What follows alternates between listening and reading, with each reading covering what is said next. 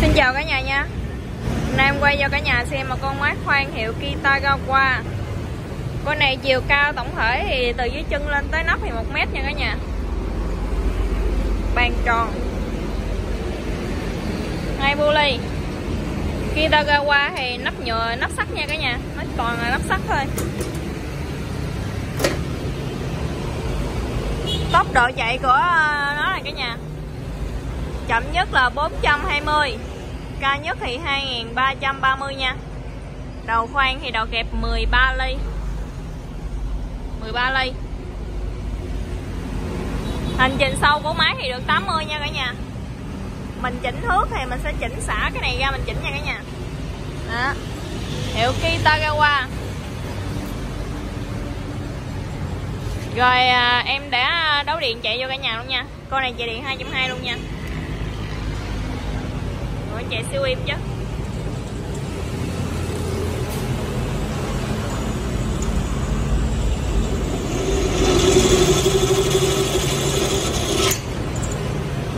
Quá ngọt. Gỡ cái bàn nữa lên à, bỏ cái sắt đi mấy chị siêu im nha cả nhà. Đem về cắm điện uh, vô là chạy thôi nha. Khoan thôi.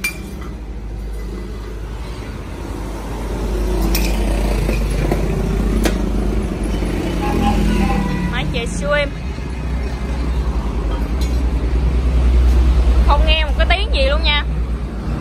Tiếng máy chạy em ru. Công tắc ngon lành.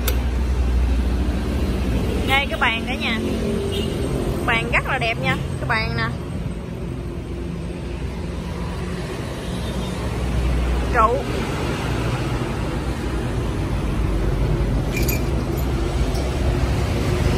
cốt nữa không cốt to nha thì xả cái cử nha cả nhà. Nó chỉnh. Mình khoan cái sản phẩm á, mà hai chục ba chục gì đó thì mình chỉnh thôi nha. Nó đơn giản.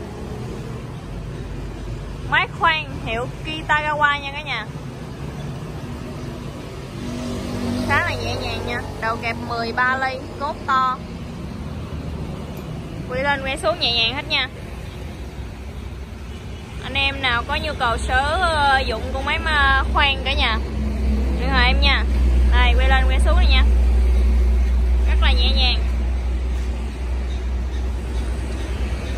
Rồi được rồi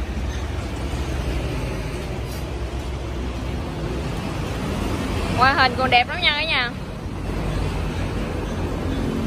Anh em nào có nhu cầu sử dụng thì liên hệ em nha.